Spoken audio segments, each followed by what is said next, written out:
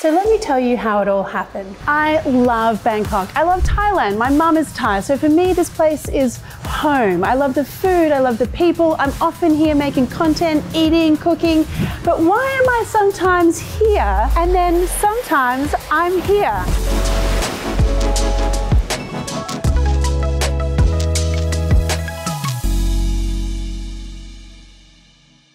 Some of you might know parts of the story if you've been following along here on my channel, but I've never actually really spoken about it until now. So what happened was when I was 29, I started a company, my first company called Marion's Kitchen with my husband, Tim. And what we wanted to do was really create these products that actually tasted good. I mean, it bummed me out no end that people were eating Asian food products that were poor quality, that didn't taste like they should. And so really at the time, that was like my first taste of creating something that I was so proud of, that I really loved. And fast forward like 15, 14 years later, Marion's Kitchen is still one of the most loved Asian brands in Australian supermarkets. So that's kind of where my origin story really started. But along the way, we started making video content. So in 2017, we were living in Bangkok and we decided to make some very simple little food videos. And those little food videos turned into their own giant beast of a thing, uh, which I just loved. Like so many of you came on board so quickly, the channels grew exponentially, and all of a sudden there was like 45 million eyeballs a month watching my food videos, which I thought was amazing because for me, the dream had always been to work in food, to cook every day, to share the food and the recipes that I loved so much. And here it was, here was the platform for me to do it. And I thought that was really, truly amazing. And so that became my life. I was creating food videos, creating food products, built an amazing team in Bangkok, opened my studio there. Uh, my mom was involved, obviously. I mean, those first Mama Noi videos, so cute. I remember the first time we put her in front of the camera and she just like blossomed. I mean, she was actually drinking a glass of red wine at the same time, but she loved it and I loved it. And our life there was just so incredible. My two children were born there uh, and we were happily kind of filming and creating, you know, all the things we were doing. And I think probably at the time I took for granted just how much Thailand and Bangkok was inspiring uh, my recipes or the videos I, I made or you know the flavors in my food products because I think when you have something and you're there for so long, we lived there for 10 years, uh, you kind of become numb to just how special things are sometimes. And then what happened was COVID. And we decided at the time, like a lot of people in the world, we were unsure. We didn't know what was happening. I had a two week old baby. Uh, and we just thought, you know what? We've we should get back to Australia. I was worried about my parents, they're you know elderly. So we all came back uh, and we ended up by chance here in Noosa. And when I say by chance, uh, it was literally the last commercial flight out of Thailand, uh, which happened to land in Brisbane. And from there, we didn't really know what was going to happen. I had my team in Bangkok also in quarantine, and we were trying to find a home for our two young kids and ourselves probably we knew that we would want to do some filming, so trying to find a home that we could also use as um, filming space and kitchen space that would be suitable for you know making videos. And we found this beautiful house on the river uh, in Noosa and set up our little home filming uh, situation. And all through uh, COVID, I filmed from the kitchen here uh, and I loved being able to connect with so many people around the world. I think at the time, for me anyway, food was such a, a beautiful salve. You know, it was really comforting for me to be making uh, and cooking and sharing and chatting to people all over the world from quarantine, basically. But at the same time, it was a real eye opener because all the things I'd taken for granted living in Bangkok, uh, you know, the beautiful markets, the beautiful food, the street food, the ingredients, all of a sudden I had none of that. I thought to myself, wow, did I really take advantage of everything that Thailand had to offer. And, you know, at the time, I think it was a big wake up call for everyone. Everyone had moments of, what have I done with my life? Or what have I been doing? And that was, you know, the case for me as well. But anyway, we continued on through COVID and I ended up setting up another studio here in Noosa and creating and pulling together such an amazing group of uh, individuals down here to create new content. So, um, you know, my new team and my new studio. And all of a sudden, I was in a new pattern of life, living in Queensland and Australia, uh, cooking again and making videos again, uh, and also continuing to make the food products, but now with a new team. Uh, and I still had my team in Thailand as well. All right, we're good. Fish is good, everyone. Oh no, fish is sinking, fish is sinking. Quick, Tim. Don't lose my lunch. Thanks, Tilly. Maybe over there. That would have been such a disaster. I would, I would have died. I would have actually died. And so that kind of became my, my new normal filming and living in Queensland and Australia, and also having to adjust my cooking style. You know, not everything that was available to me in Bangkok and Thailand is available here in Australia. So I kind of had to adjust and change up, you know, the sorts of recipes and ingredients I used, which is fine. And I think actually really helped me to understand the you know kind of limitations that people have cooking Asian food when they're not in Asia. So I think that was a real plus. But um, you know, for me, life also then took another turn. because while we were here in Noosa, we also decided that we wanted to start creating some new things. So I think creating obviously is the, the main essence of what I love to do and what my husband Tim loves to do.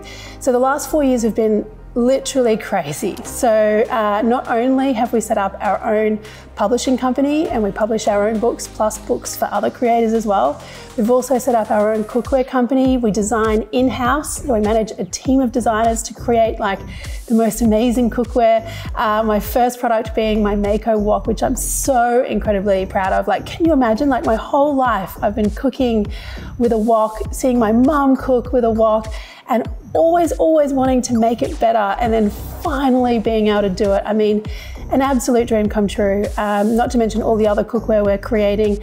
Uh, and not only that, we've created a homewares brand as well and a marketplace called cookdinehost.com. So, I mean, things just have exponentially exploded while I've lived here in Australia. And I'm incredibly grateful for the teams that I now have in Noosa and also in Melbourne. Uh, I loved the pop up we did in Melbourne uh, last year where I got to meet so many of you, and that was really incredible.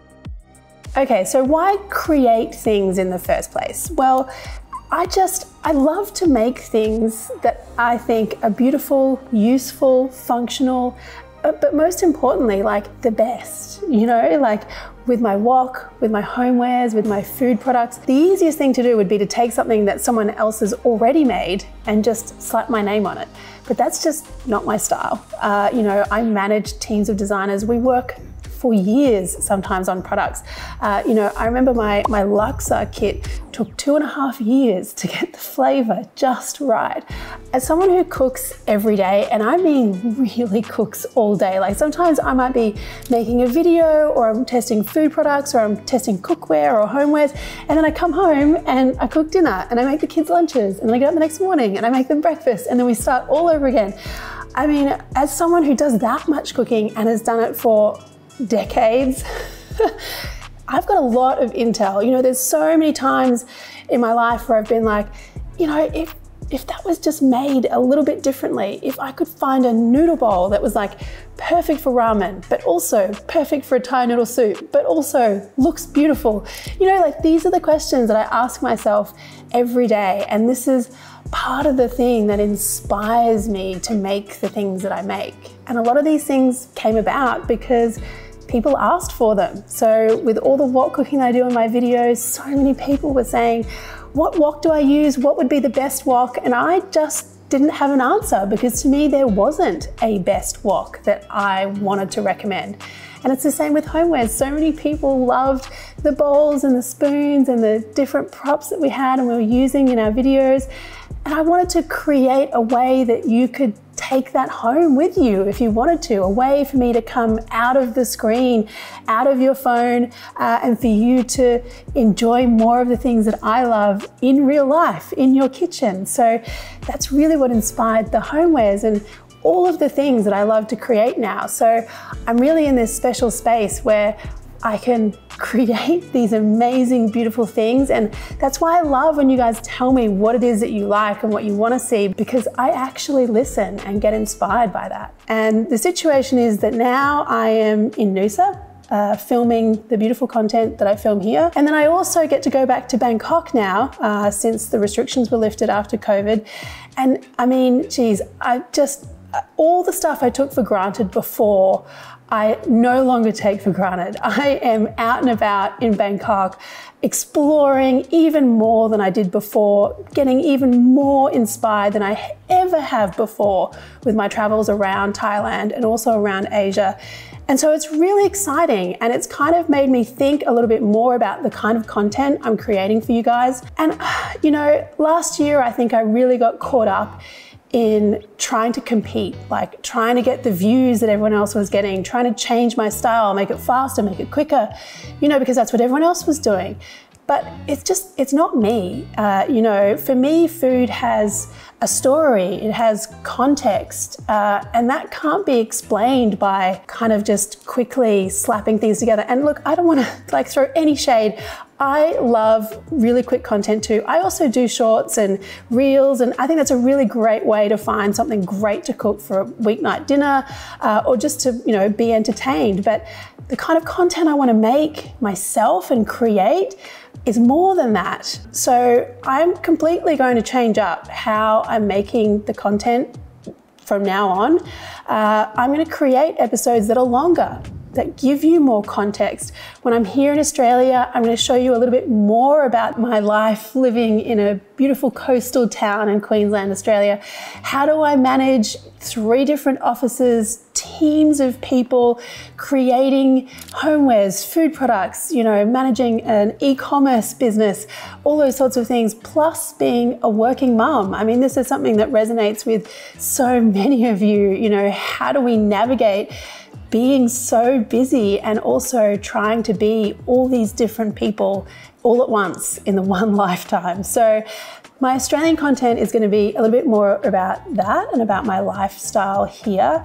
And when I'm traveling in Thailand and Asia, I want to give the food more context. I want to tell you more about the ingredients. I don't want to call it like educating, but showing you like the, the differences between, you know, all the different Thai basils, for example. Uh, you know, these are the kind of things that I find really interesting about Thai food, all the different dishes and, you know, some of the really, I don't know, like more niche recipes that maybe you don't find all over the internet, but that are like equally as joyful as the Thai green curry. So I want to go in depth a little more, and those episodes will also be longer. And I think the whole point is that, like, I'm also changing the way I watch, uh, you know, socials. I love to sit down and watch something beautiful on my television. I'm going to create episodes that you will want to sit down and savor and enjoy with a cup of coffee or a bowl of noodles while you're on the sofa.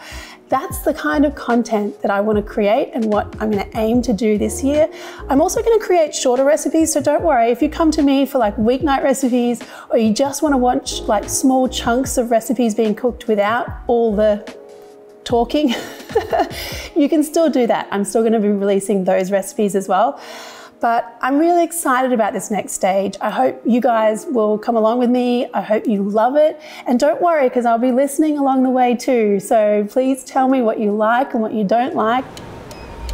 Okay, so that's how we got to where we are. That's why sometimes I'm here, sometimes I'm there. Uh, and also, I'm really happy that I shared with you like my new plan for what I'm going to be creating this year. And I hope you really love it. I'll be listening out to hear your thoughts. So please do let me know and let's chat soon.